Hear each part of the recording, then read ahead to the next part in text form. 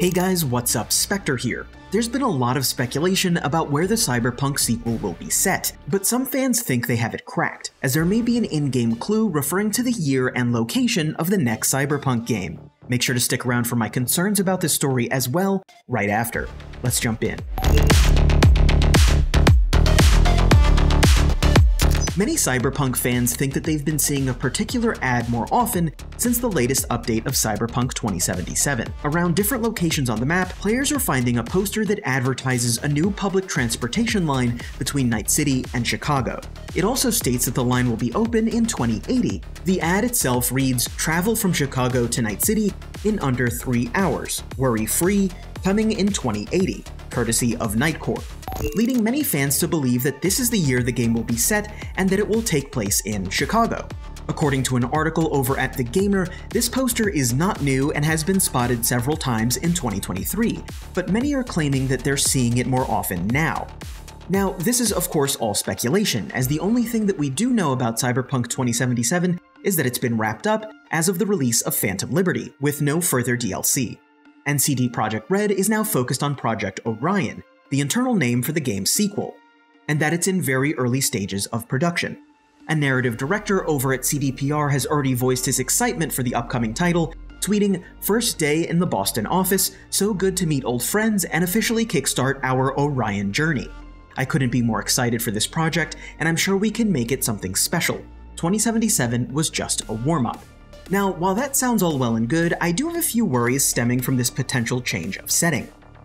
And while many speculate that Project Orion could take place in 2080, a lot of fans have also seen the number 2079 glitching out in a recent trailer, leaving many scratching their heads, myself included. If you'd like to read more, I've left the sources down there in the description. For the sequel of Cyberpunk 2077, I wanted more depth, a more dense concentration of activities and deeper stories and relationships, not necessarily a new location.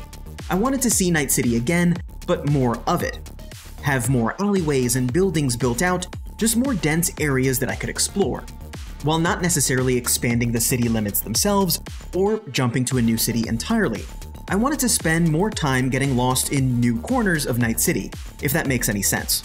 When I think of other open world games that have come out recently, such as Starfield, they give you so much, so much of an expanse to explore, but none of it is necessarily deep and I want the complete opposite of that for Project Orion. I'd love to see new activities, and I'd like to see old ones expanded upon, along with deeper side quests and companion quests, as well as romantic relationships, as we've already seen them built upon in Phantom Liberty.